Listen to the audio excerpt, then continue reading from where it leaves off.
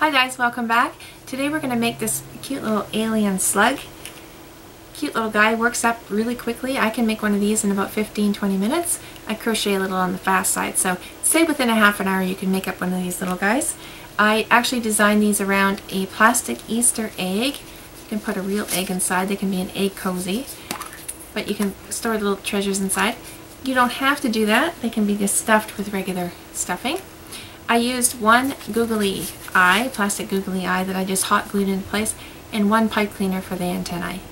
You can find uh, the written pattern on my blog that is linked in the description box below. You will also find, uh, this has been designed for a set. I have a space set on my blog that has a rocket and an astronaut as well. So if you're interested in those, go check those out on my blog. Again, linked in the description box below. As with all my videos here on YouTube, the, this video tutorial comes with a full written pattern where you'll find the supplies list, the yarn weight and the hook size and all that good stuff. I am using Red Heart Comfort Yarn. That's this stuff right here. I buy these great big balls of yarn here because I I make a lot of amigurumi. So this is the kind of yarn that I use. You can use any yarn you choose. Just make sure that you use the right hook size for the yarn that you're using. So I hope you have fun and if you do make yourself a little alien slug, please post pictures on my Facebook page, Amigurumi Freely. I'd love to see. Thanks so much for watching and have fun. So we're going to make our little alien. We're going to start right here on the top of the head. I'm just going to work our way down to the bottom of the body. And we start with a loop with six stitches. That's row one. So you want to have a loop with six stitches. If you don't know how to make this loop, I have two tutorials here on YouTube that will walk you through making it. There's one called the magic ring, it's right there. And then there's one that's chain to adjustable loop method, and that one's right here. You can use either one of those. Go and figure which one you like the best. And once you have your loop with six stitches, then come on back. And row two is two single crochets in each one of these six stitches. So if you look at the, I'm going to pull my last stitch out so I don't lose it. If you turn it to the side, here's our last stitch right here. I'll work from this side. So our first stitch to count is underneath this big loop. And you can see stitch one, one, two, they look like V's, three, four, five, and then the last one is in front of this knot here. And it's number six. And we have a starting yarn tail here and we're going to leave that hanging and we can tuck it into the piece later or we can work it into the second row just by holding along the edge and crocheting around it. For this tutorial I'm just going to leave it hanging and we'll tuck it in later. Don't cut it up short because if you do uh, it could potentially work itself free and then you'll end up with a hole in the, in the top of your stuffy. So just leave it hanging or hold along the edge as we work the second row. So row 2 is two single crochets in each one of those six stitches so I'm just going to go this row with you. We're going to go ahead and put single crochet in the first stitch. Then when you go through, make sure you're going through both loops of that stitch. There's two loops in a stitch. Make sure you're going through both loops. Yarn over and pull through. Yarn over and pull through. And there was one single crochet in the first stitch. Now we're going to go back in the same stitch we were just in. You can pull it up with your hook and you can see the hole there. Just go back into that same hole you were just in and put another single crochet and there was two single crochets in the first stitch. Now we're going to go into the second one. Turn it towards you, you can see the V. When you push through, make sure you have two loops of that V on top of your hook. Yarn over and pull through. Yarn over and pull through. And there was one single crochet in the second stitch. Now we're going to go back in the same stitch we were just in and put another single crochet. That was two single crochets into the second. Now we're going to go into the third.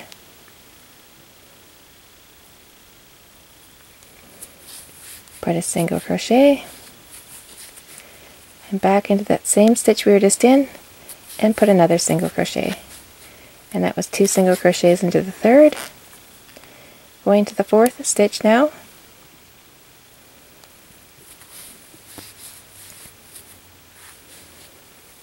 There was one, going back in the same, and two. Going into the fifth stitch now.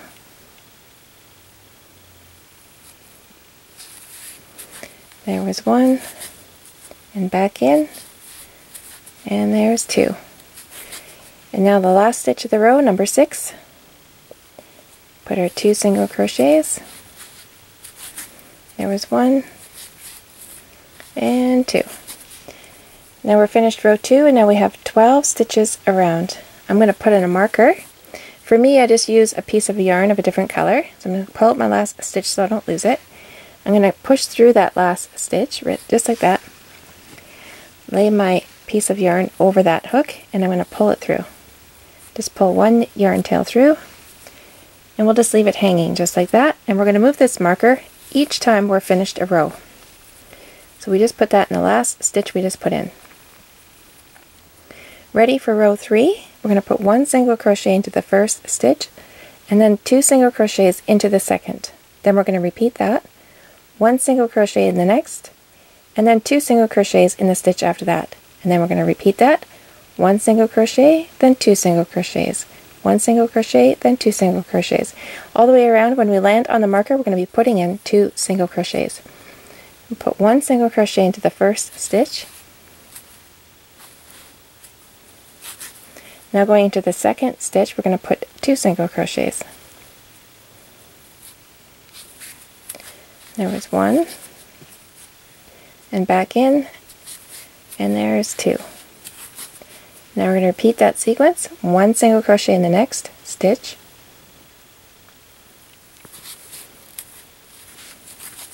and two single crochets into the stitch after that. There's one and two. So I'll do one more with you. One single crochet into the next stitch, and then two single crochets into the stitch after that.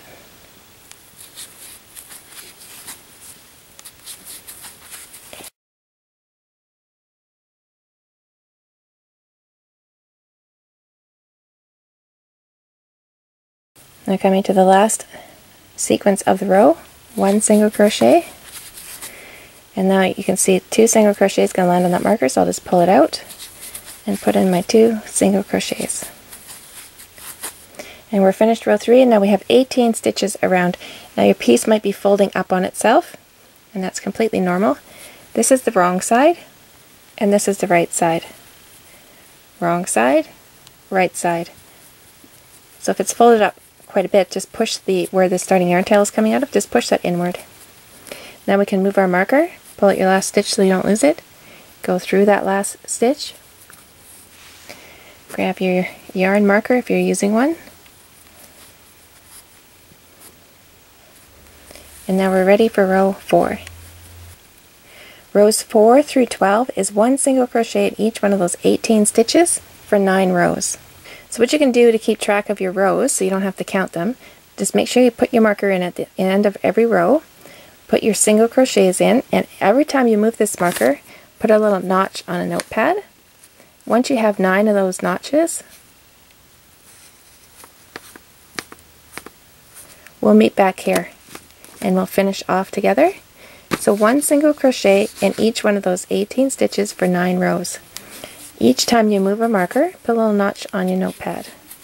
Make sure you're watching your hook and that you're going into the next stitch and not into the last stitch you just put in, because that's very easy to do. If you can't see the stitches, turn them towards you and look for that V. And go through that V. Make sure there's two loops of that V on top of your hook.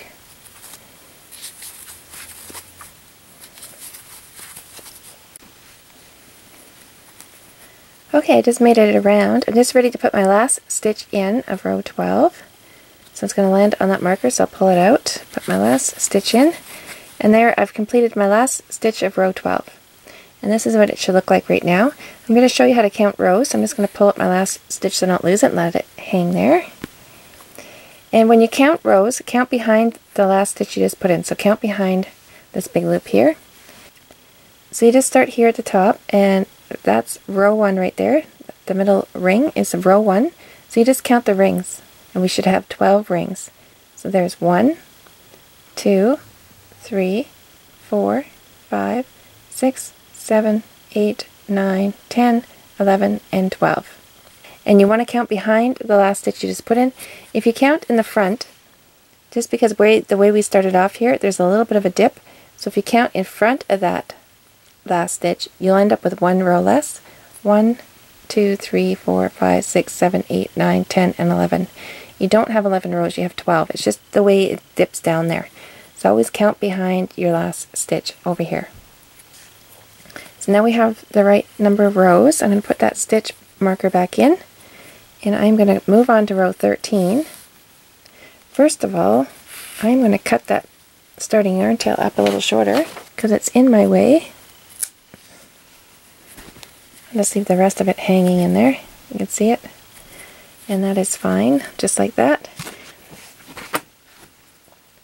So row 13, we're going to make this little wavy part down here.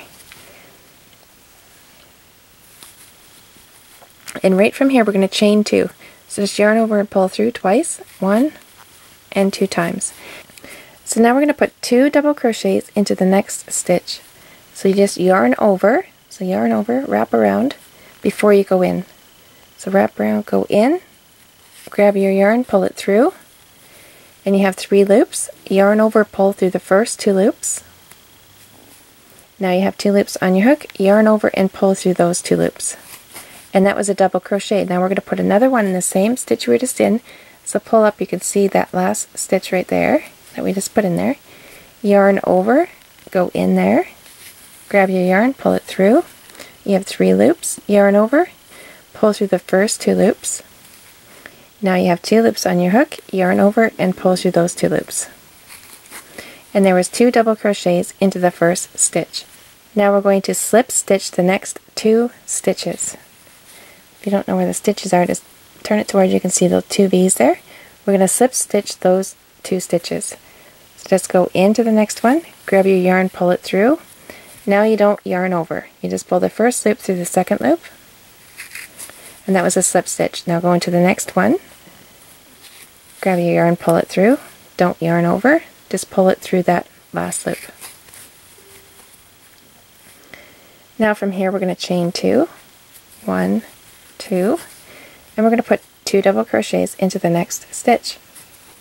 Yarn over, go into that next stitch, grab your yarn, pull it through, you have three loops, yarn over, pull through those first two loops, yarn over, and pull through those last two loops. Then we're going to put another one in there, so yarn over, go in, grab your yarn, pull it through. You have three loops, yarn over, pull through those first two loops, yarn over, and pull through those two loops. Now we're going to slip stitch the next two, go in, grab your yarn, do not yarn over, just pull that first loop through the second loop. Go into the next stitch, grab your yarn, don't yarn over, pull the first loop through the second loop. Now we're going to chain two, one, two, yarn over, go into the next stitch, grab your yarn, pull it through.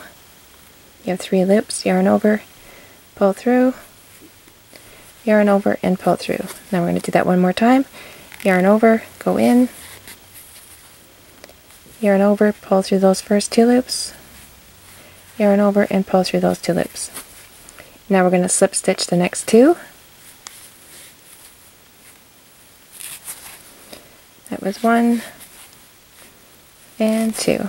Now chain two, one, two, yarn over, go into the next stitch, put it two double crochets,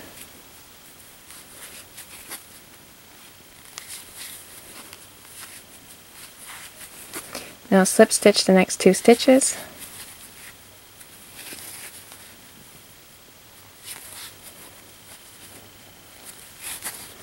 Chain two, one, two,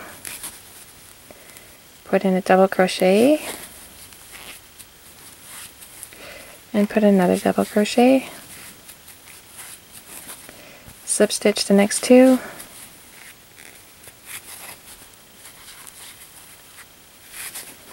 chain two, one, two, double crochet,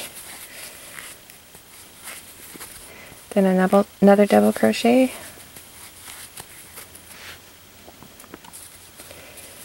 and now slip stitch the last two. There was one, and now the last one will be landing on that marker. Pull it out, and go ahead and put in that last slip stitch. Now we're going to finish off. So we don't need too much of a yarn tail. We just need enough yarn tail to work to be able to weave it into the piece. Just cut it up free there. And pull that yarn tail through that loop. Pull it through and pull it tight. Now we're going to weave this yarn tail into the piece. So I just already got my yarn needle here. It's a blunt end yarn needle. And I'm going to thread it. Now instead of pushing the end through and risking freeing that end, just bend it over and push the bend through. It's a lot faster and easier. And now we're just going to weave it in along one of these edges here. Front or back, doesn't matter.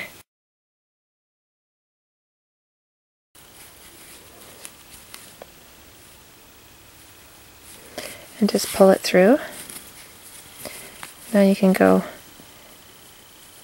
down and back a ways in the opposite direction. It doesn't matter how you do it, as long as you just weave it in somewhere along the edge there. So you can see it, yeah, I pulled the needle right through stitches themselves, so there's you couldn't see the needle on either side. It's right through the middle.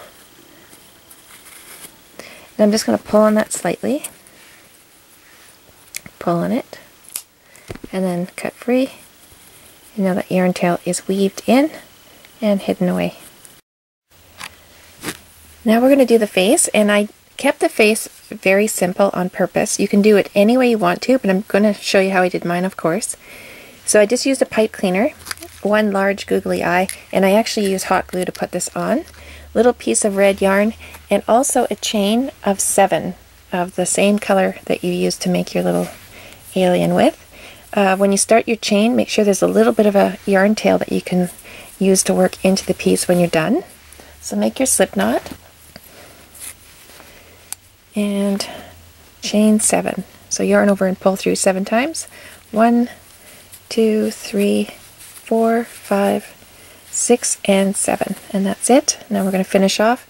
When you finish off, leave a little bit of a tail that you can use to sew into the piece. So pull that yarn tail through that loop and pull it tight. So that's just the piece that's going to go over our little mouth. So we're going to put the red yarn in first. So go ahead and thread your yarn needle. Remember, bend it over and push the bend through the eye of the needle. So I put it in between the 8th and ninth row, I believe. And we're just going to start with this ring on top. You count the rings. One, two, three, four, five, six, seven, eight, and 9. Yes, 8 and 9. So again, we'll count here. One, two, three, four, five, six, seven, eight, and 9. So in between the 8th and ninth row, I'm going to go right through a stitch. I'm going to go from underneath inside and I'll bring it through. And I'll just bring one yarn tail through and leave the other one hanging inside. And now I'm going to go over, oh, probably be about four stitches or five. One, two, three, four. Let's say four. So there's three visible stitches in between there. One, two, three stitch holes. And just bring it through. Now you're going to bring it over and come up just a little ways over. Just push it through. I like to double it. You don't need to do it this way. Just bring it through. And then back over and down a little ways over.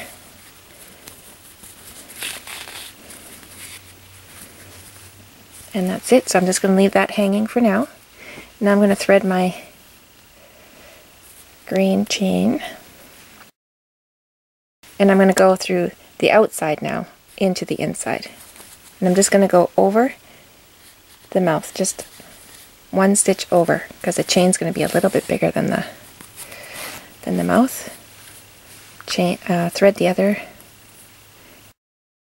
and bring it over, just like that.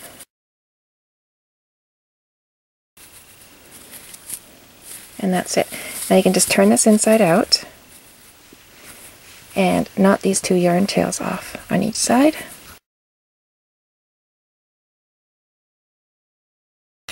Okay, cut them up a bit shorter. Okay, so the mouth is in. Before I turn it right side, I'm going to put the pipe cleaner in now. And I do this on the inside to the outside. It's just easier that way. And I'm just going to go, you see the the uh, starting ring, or starting row that we started off with. I'm going to go on either side of that ring. So just push both ends through, just like that. Just push them through. And now grab those pipe cleaners and pull them through. Now you can turn it right side. And these you can cut up a bit shorter. Length is totally up to you. Just make sure that you roll the ends so there's no sharp edges. So that's all there is to that. If you're worried about it coming out, this pipe cleaner, just take a, a length of green yarn, or whatever yarn you use to make your alien with, and we can just put a holding stitch. Actually, I'll do it from this side so you can see what I'm doing.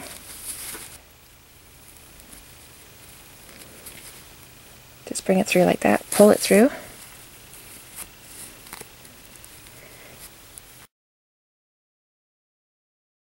knot those two off, those two yarn tails that you just put in. Cut them up a bit shorter, and that's it. Now that pipe cleaner won't go anywhere. You can tug on it and it won't come out. Okay, we'll put that eye on. Now you, if you use hot glue like I do, just be aware that once hot glue touches the yarn, it will not come off, so be very careful. And you don't want to have the, hot, the glue so hot that it melts the plastic. So just uh, be aware of those two things. And I'm going to put the eye right, I'm going to fold down that green chain. And I'm going to put the eye just above that uh, red mouth there. Right in the middle. Again, this is totally optional. I'm just showing you how I did mine.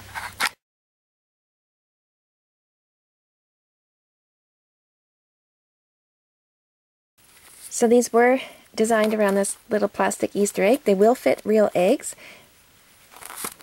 And of course you can uh, stuff it with real stuffing as well. And just leave it in there. That's the end of this tutorial. I hope you had fun and I hope you got yourself a little alien slug made. And remember, if you did make yourself a little slug or a little army of them, please post pictures on my Facebook page, Amigurumi Freely. I'd love to see. Thanks so much for watching and see you soon.